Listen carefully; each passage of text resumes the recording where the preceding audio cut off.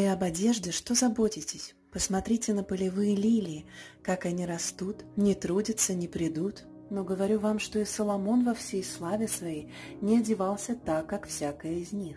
Если же траву полевую, которая сегодня есть, а завтра будет брошена в печь, Бог так одевает, кольми паче вас, маловеры.